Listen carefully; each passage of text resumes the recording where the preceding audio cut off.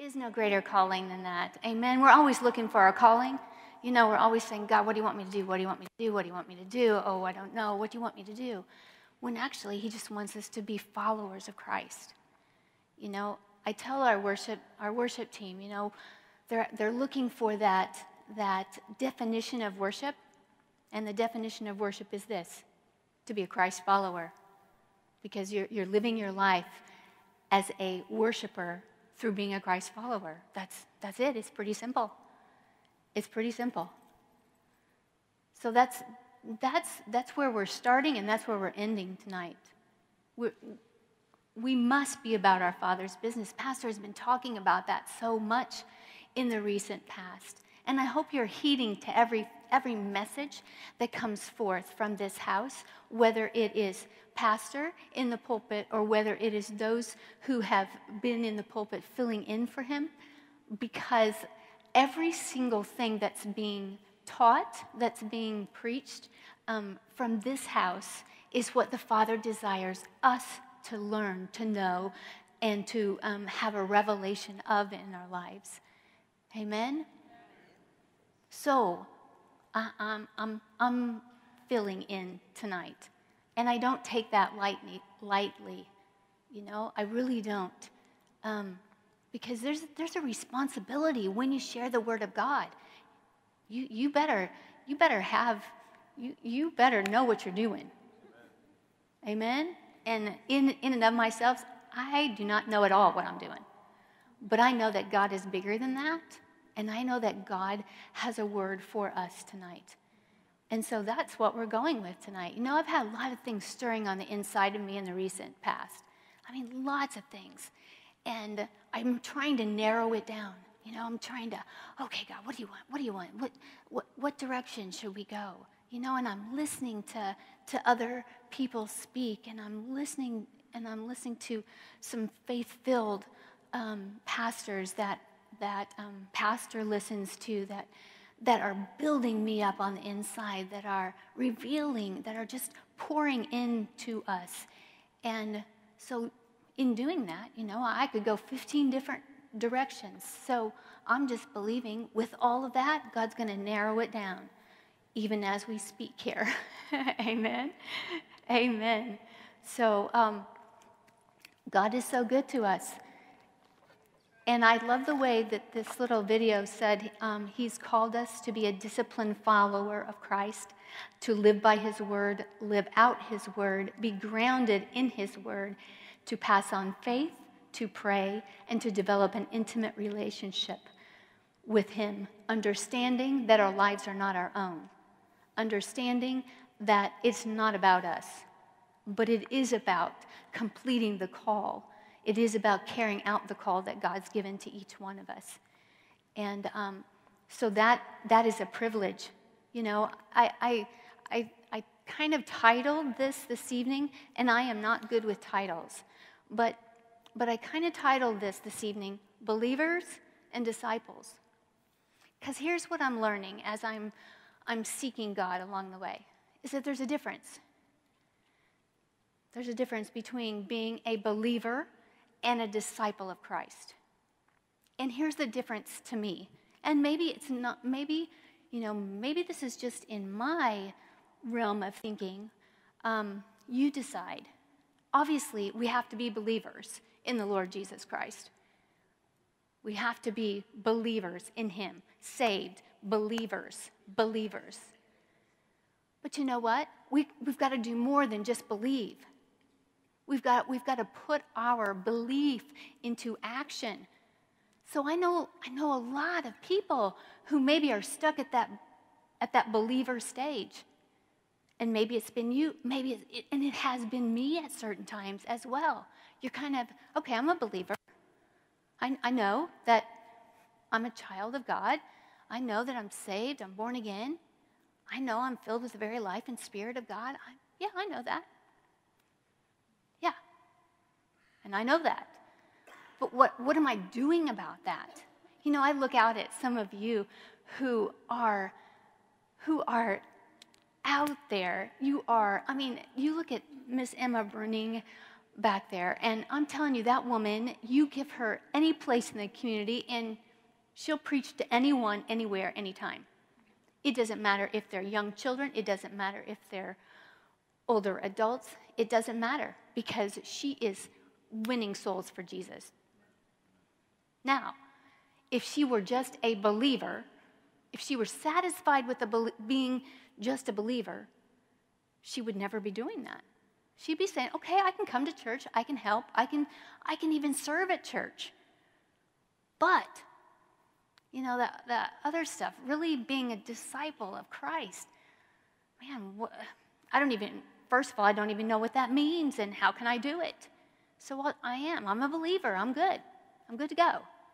And if Jesus comes, I'm good to go. But there's so much more to living this life that, that God's called us to live than just being right here as a believer. So that's your challenge tonight. That's my challenge because, you know, everything that, um, that I share this evening is because God's already challenged me with that. Man, I see how I lack so much. I mean, seriously. Because what does a disciple really mean? What, what does that really mean? I mean, if, excuse me, if you look it up, you know, in the dictionary, it, it really means a learner, devotee, a pupil, even a fanatic, or a follower. And a follower is someone who imitates, copies, or takes as a model or ideal. So if I'm, I'm going to use those two those words interchangeably tonight, follower and disciple, because really I see them as one and the same. So this is what you know, this is what God has called us to be, is, is followers of Christ. Not just, not just sitting comfortably as believers. And it said in the, in the um, dictionary that I was looking at online, by the way, which, you know, it gives you varying things, but, but um, it says a disciple of Christ is one who believes the doctrine, believes his teachings, rests on his sacrifice, imbibes, which means to absorb, soak up, consume, and receive his spirit, and imitates his example. I mean, plain and simple. That's, that's, what, a, that's what a disciple is. Amen? Amen. Okay, you guys are with me so far, right? Awesome. So in Matthew 10, 24 through 25, it says, A disciple is not above his teacher, nor a servant above his master. It is enough for a disciple, that he be like his teacher, and a servant like his master. Now, in Luke 14, you can just, if you want to write these scriptures down, you can. You don't have to turn there right now if you don't want to.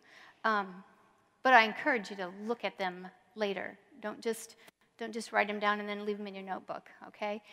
Um, Luke 14, verses 26, 27, and 33 says, Large crowds were traveling with Jesus, and turning to them, he said, If anyone comes to me and does not hate his hate father and mother, wife and children, brothers and sisters, yes, even their own life, such a person cannot be my disciple. And whoever does not carry their cross and follow me cannot be my disciple. In the same way, those of you, those of you who do not give up everything, you cannot be my disciple. And that's, that struck me. It, it, it really, I mean, I've read the scripture many times before. But when it says, in the same way, those of you who do not give up everything, you cannot be my disciple. So I started looking into my own my own life and I thought, wow, I give up a lot of things for for different things, but do I get, give up everything to follow Christ? I mean, that's that's a big question that we we have to ask ourselves, and that's that's one that I asked myself. And I found out, huh, I'm not I'm not giving up everything to follow after Christ. I love Jesus with all my heart. But, but am I really, am I really sacrificing for him? No. Oh no. Am I really, am I really going out on a limb for him? Am, am I willing to just lay down everything? Am I willing to really just, just put, put everything behind me and just follow after him? Gosh, I mean, honestly, everything? But he says right here, I mean, the Bible's that way. You know, it asks some pretty hard questions. In the same way, those of you who do not give up everything, you cannot be my disciples. And I thought, no, because come on, I want to be your disciple. I, I always say I'm a Christ follower. But am I really? You know? And how many of us are like that? You know, I'm, I'm not pointing fingers at anyone because I don't know where you are, but I know where I am, and I got a lot of work to do. I'll just say that. One of our key scriptures this evening is found in John 8 31 and 32. And it says, and I have different translations of it, so bear with me because I love different translations and how the, the wording helps bring the scripture alive. But in the New Living Translation, it says, Jesus said to people, said to the people who believed in him, You are truly my disciples if you remain faithful to my teachings, and you will know the truth, and the truth will set you free. Now, you've all heard that. You will know the truth, and the truth will set you free. I mean, we all know that. But look at the line right before that. It says, You are truly my disciples if you remain faithful to my teachings. Then you will know the truth, and the truth will set you free. Now, in the Amplified Version, it says, So Jesus said to the Jews who had believed, the Jews who had believed in him, If you abide in my word, which means hold fast to my teachings and live in accordance with them, you are truly my disciples and you will know the truth, and the truth will set you free. And another version said, If you continue to obey my teaching. And yet another one said, If you abide in my word, just like one of the previous ones. So we're, we're abiding in his word, we're obeying his teachings, and continuing in his word. I want you to think about that scripture. You know, we heard that just a moment ago that is, a disciple is not above his master. And that's, um, that's, that's good news for all of us. Um, here's what I know I know that, that we all want to uh, achieve, achieve things like, like Christ, but we don't want to live like Christ. I mean, we all, we all want to have the achievements like Christ. We all want to, we all want to, um, to have all of those things that, that the Father desires us to have, but we don't want to live like it. I mean, let's just be honest. Do we really want to live like that? I mean, look at Jesus. Jesus lived a sinful life. And I think that we, all, we say to ourselves, well, that was Jesus, and it was. But I think that we use that sometimes as, as almost a crutch to say, I know I can't live a sin, sinless life. And we're going to mess up. I, I, I understand that. But are we really trying to live a sinless life? And like I said, I'm, I'm not looking at you. I'm looking these things back at myself. Are we really trying to live a sinless life? A life that's, that's totally pleasing, a life that is imitating the Lord Jesus Christ. Because we're supposed to be imitators, right? We're supposed to be imitators of Him. So, how is my life imitating Christ? Oh, golly gee. Thank you for God's mercy. That's what I say. Amen.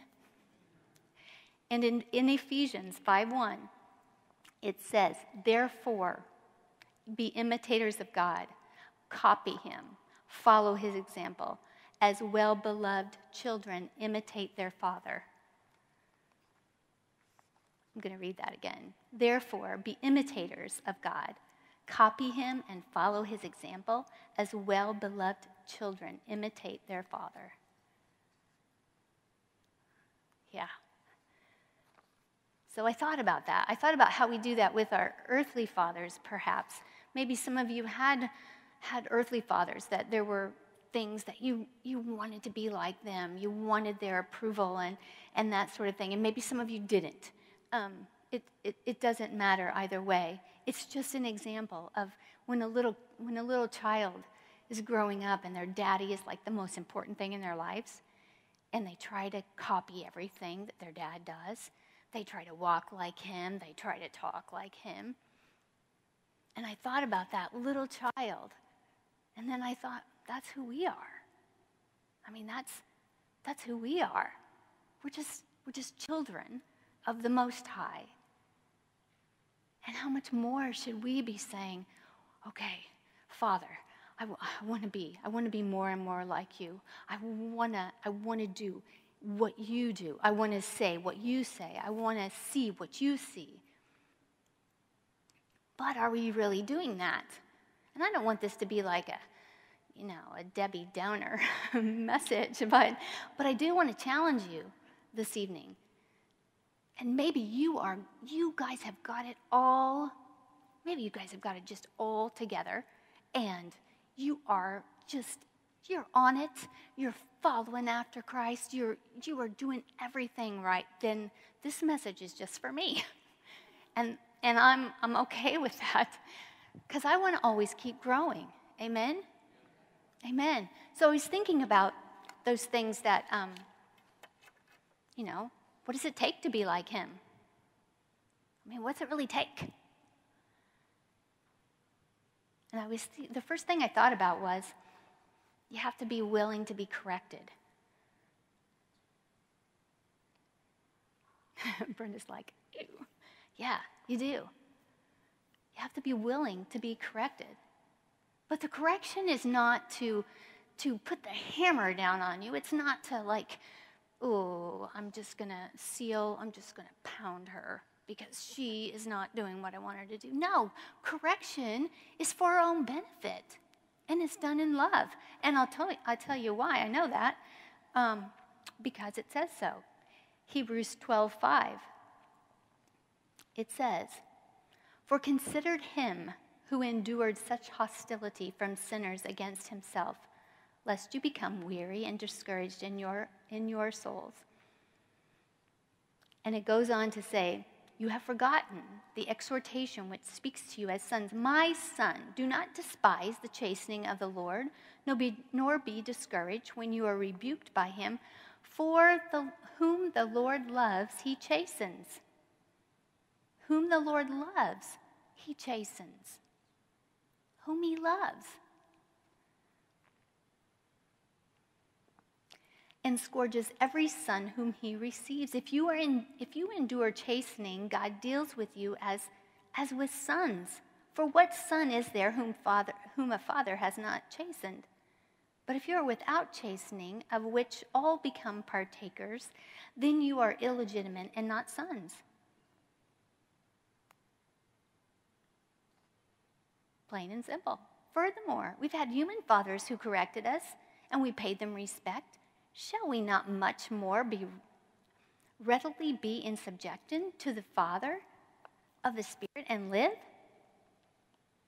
For they indeed for a few days chastened us as seemed best to them, but he for our profit, that we might be taker, partakers of his holiness.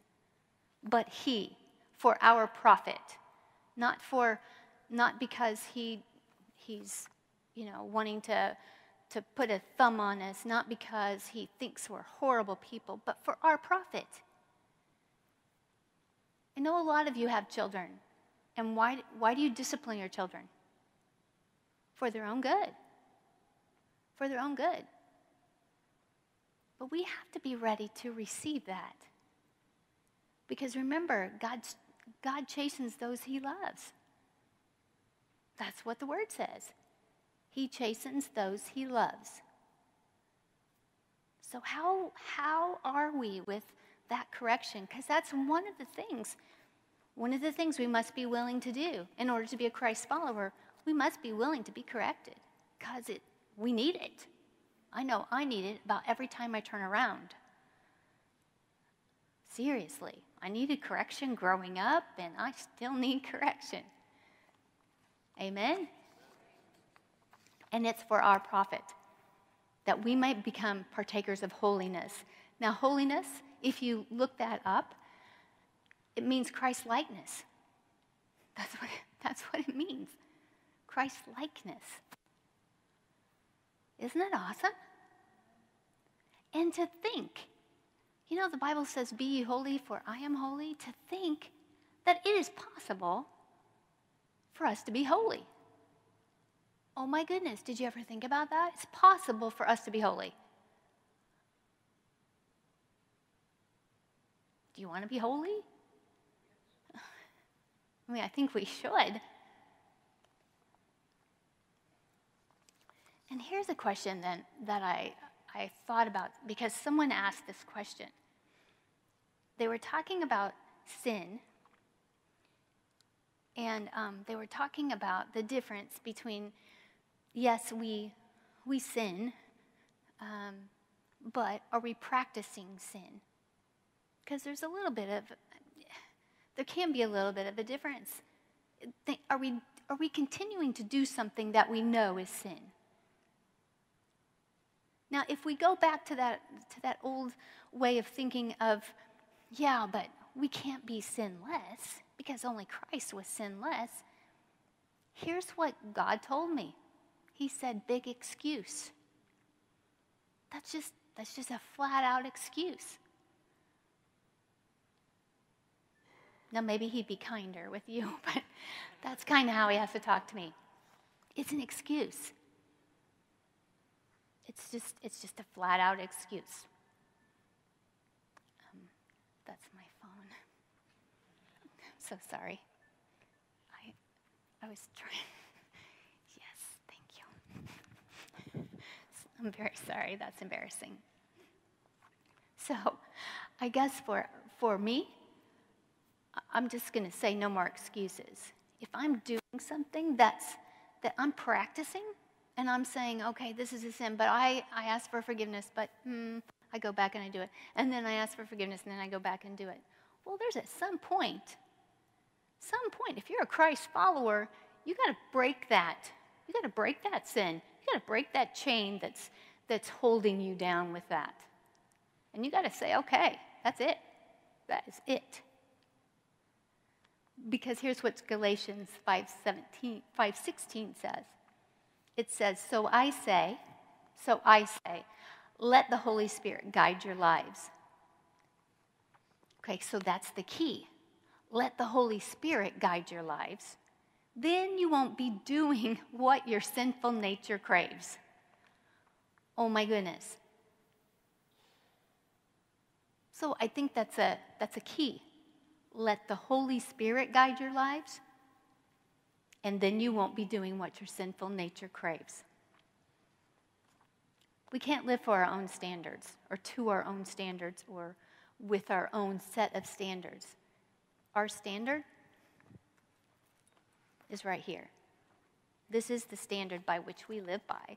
And if you're going to be a Christ follower, then this is the standard for you. Because everything that you need to know about being a Christ follower is right here. Remember, we're believers. I know most of you. We're believers. But now it's, it's time to really just, just take a step over and just flat out be a Christ follower. We, we, we gotta, we, we've got to become Christ followers. Amen? Amen. Number two,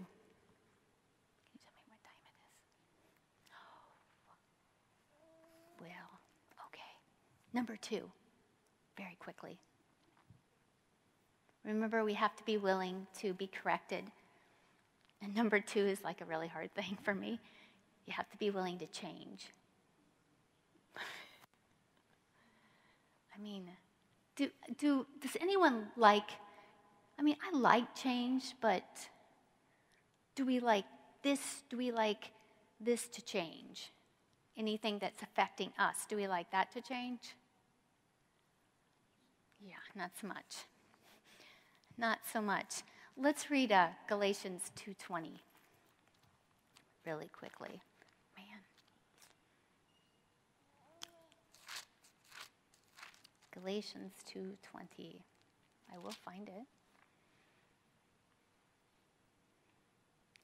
My old self, thank you, Jesus.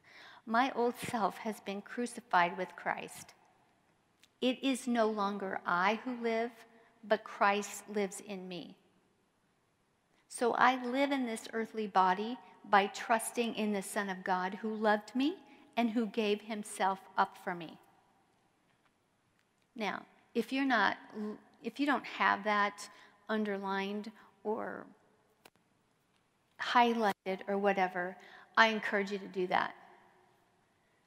Because remember, we must be willing to be corrected and we must be willing to change. And this specifically tells us the importance of that and why. My old self has been, does anybody have an old self? An old self has been crucified with Christ. And it's no longer I, but who lives in you? Christ. Christ lives in you. Think about that. Christ lives in me. So I live in this earthly body by trusting in the Son of God, who loved me and gave himself up for me. That's what he did for me. That's what he did for you. So if we if we do not if we are not going to be willing to be Christ's followers, after what he has done for us, remember, he gave himself up for us because he loves us. So to not be a Christ follower, in the natural, when, when you are a parent and the, you've given everything for the children and you've maybe you've given everything and yet yet they're ungrateful or whatever the case may be they're un, doesn't that kind of might frustrate you on the inside well this is this is jesus this is jesus who gave himself, himself up for us. Oh my goodness. We can't be content.